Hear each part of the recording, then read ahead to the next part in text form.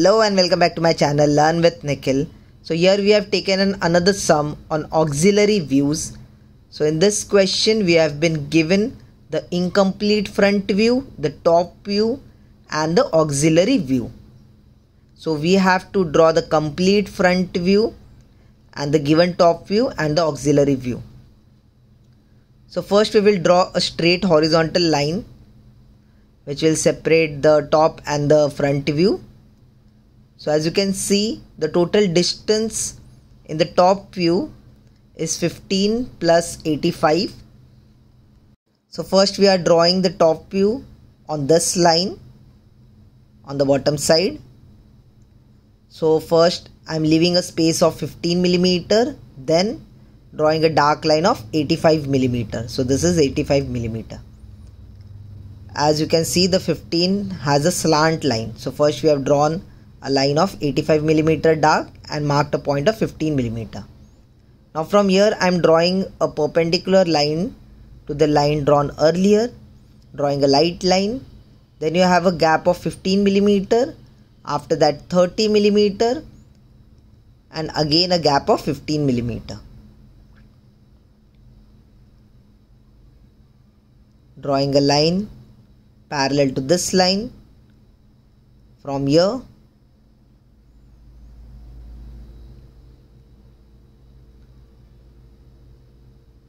so here also you have a gap of 15 millimeters same. So marking a point.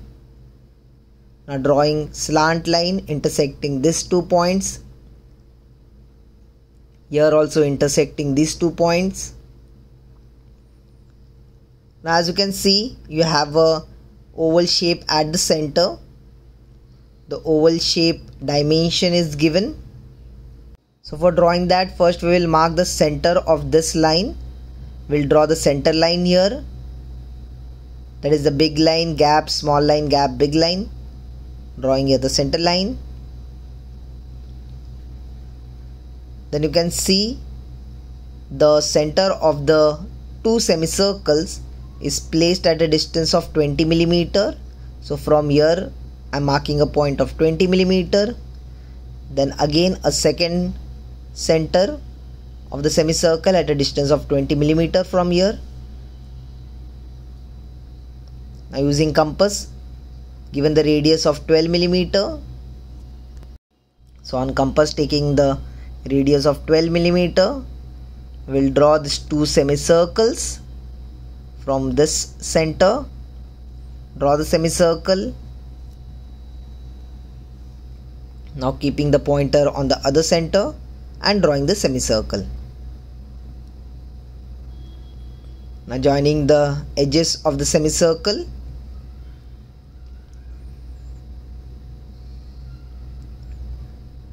So with this we got this oval shape. Doing the same at the bottom side also. With this the oval shape is drawn. Now marking the center point of the semicircle again with the same line big gap small line gap big line on both the center points. Now next you can see we have this slant line. Now the distance of the line given is 60 millimeter. So keeping with the pointer like this on the scale and measuring 60 millimeter you can use the compass also to cut an arc on the bottom line with distance of 60 millimeter on the compass or you can do the way I have done it. Joining this. So this is how we have drawn. Now the auxiliary view is perpendicular to this slant line. So to draw the auxiliary view we will draw the perpendicular line. That is 90 degree line from this point. So we'll take this as the reference perpendicular line. We'll draw it lightly same we will do it over here also. Now the distance is not given so I'm assuming it as 15 millimeters. So if given in the question 1 millimeter or 15 millimeter do it accordingly. Here it is not given so I'm assuming it. Joining this and joining this part. So this is the top view of the auxiliary view you can see. This is how it is. Here the circle is drawn. So for drawing the auxiliary view this is the base of the auxiliary. The distance is used randomly. So drawing this part. Here the distance given is 30 30 30 but it is not 30 the center is 30 and the other two parts are 15 and 15 now drawing this line this line I'm taking as 50 millimeters till the center from the bottom. From here I am considering distance of 50 millimeter till the center of the circle. Drawing the center line as we were to draw the circle.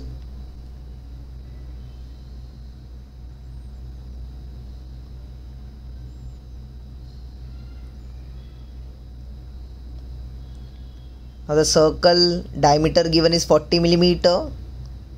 So as diameter is 40 radius as 20 millimeter on the compass.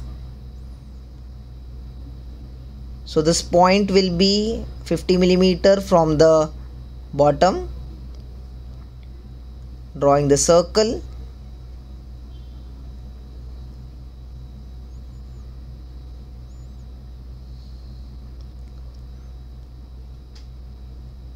Next I'm just extending now this line a bit further. Again the dimension is not given exactly. So I'm just extending till this point. Just assumed a point and extended same over here. As I mentioned earlier first I'll draw a line at the top. So this distance also I have assumed marking the center line. Now this distance is 30 millimeter. So the remaining will be obviously 15 millimeter now joining this.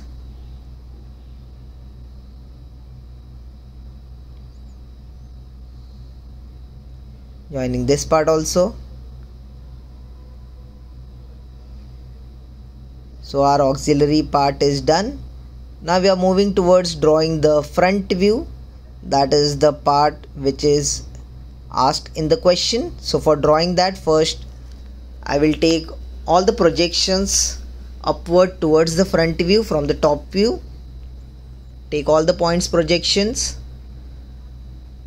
Now to draw with the front view first I'll draw the baseline of the front view which is given in the question itself. So drawing this part dark. Now whatever given in the front view we are drawing this. This is 15 millimeter dark line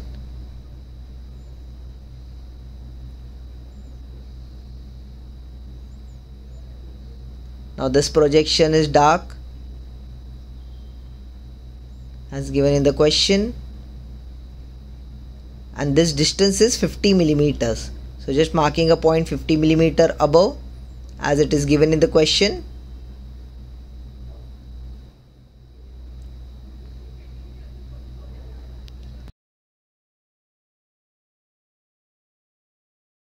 Drawing this edge is dark so this is this edge this is behind so this is dotted it is hidden.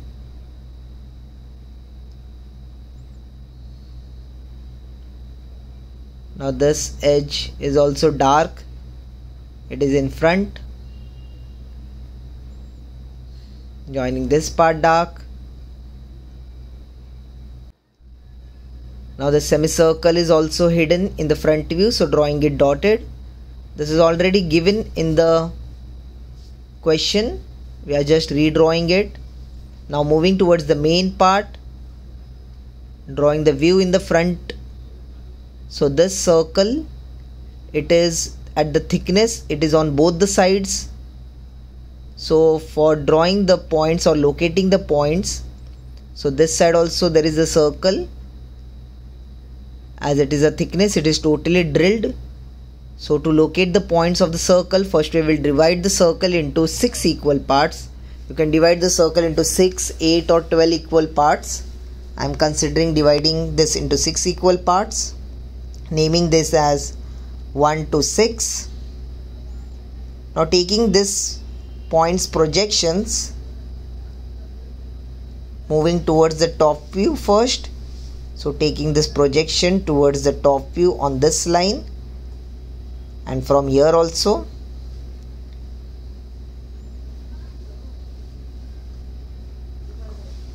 so it is intersecting both the lines. Now taking these projections upward towards the front view. So for before that first marking this point as 6151 this intersection over here will be 1141 this will be 2131 so the circle intersecting here also and it is intersecting at the back side also. We'll do that later. Now taking these points projection upwards towards the front view draw the line slightly and parallel. So taking the projections upward from all these points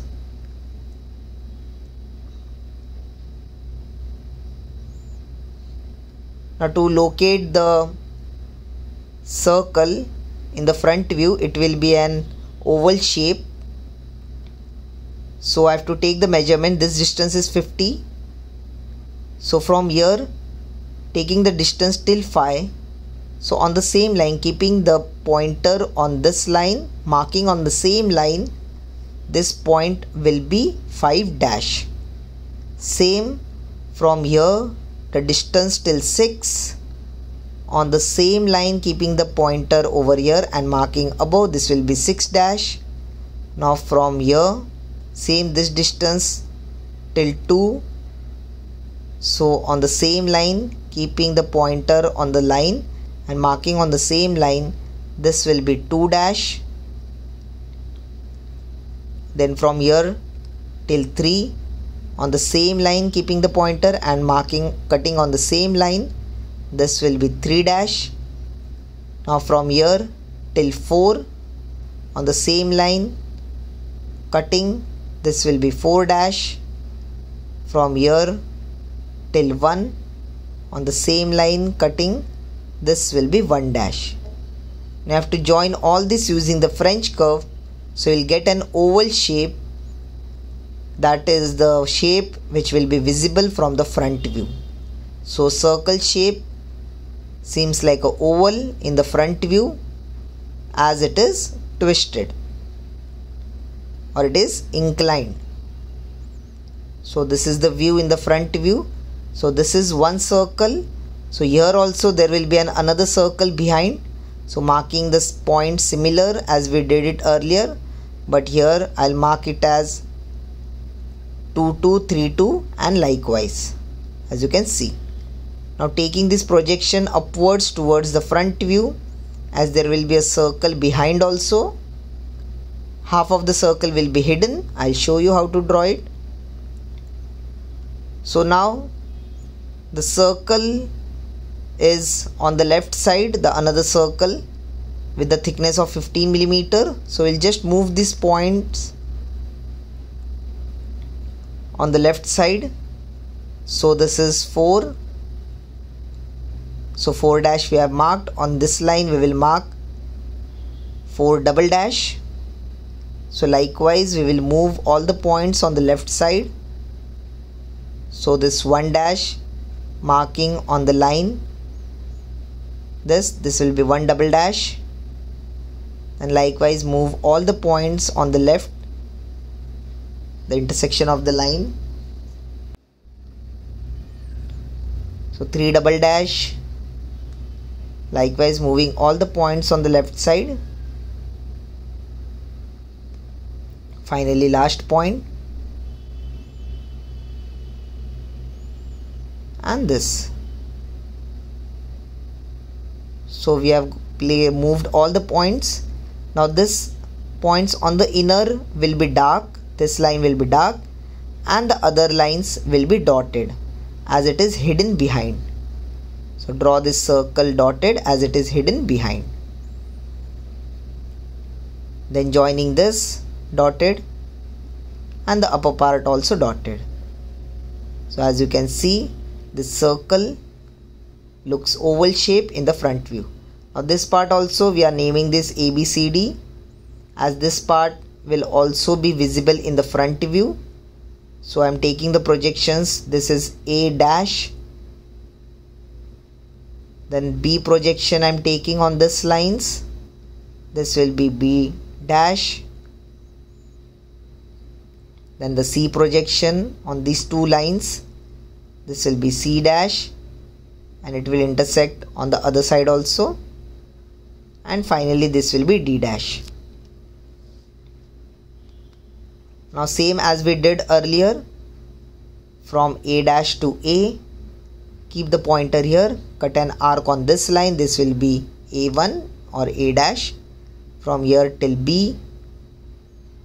Before that take the projections from these points upward.